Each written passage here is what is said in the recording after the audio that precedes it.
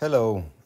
In the upcoming version of Nomad Sculpt 169, it's possible to bake the vertex painting of a high poly mesh to a low poly mesh. Yes, okay, I demonstrated. And here in the uh, change log,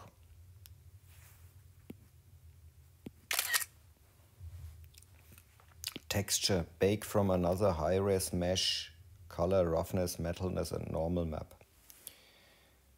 About the normal map, I don't know much at the moment. Okay. Here's the web demo. Here you can test it. And I bring in now a test file. And this is uh, the high poly mesh example. Sorry, I have to clean here the clear here the mask with only UV painting on it. And there is no UV map at the moment on this mesh. Okay. And you have to clone your mesh and now both meshes are at the same place at the moment. I hide the high poly mesh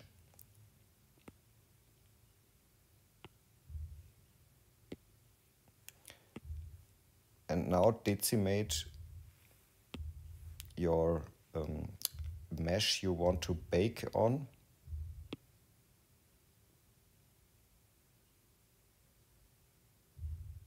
takes a few seconds and preserve painting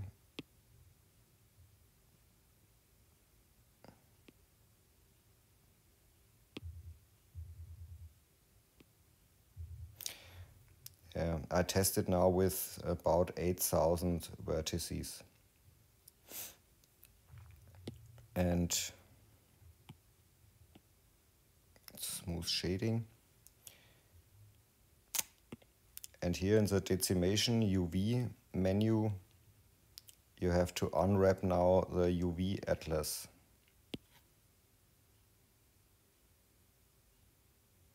It takes a few seconds.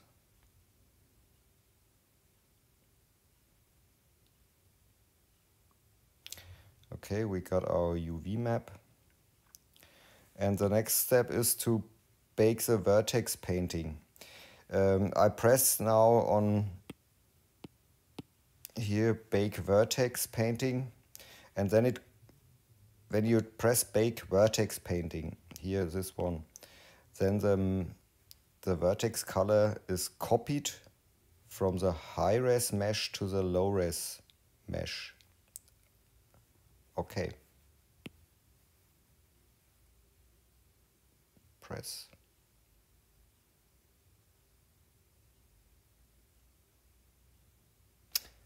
Yes, it works.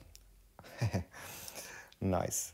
Yes, with the web demo uh, and the browser, there are often crashes. Um, I'm happy now. And here you see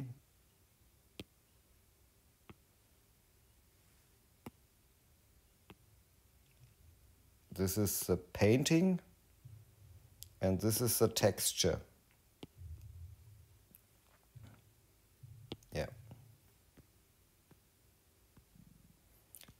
I think this is cool.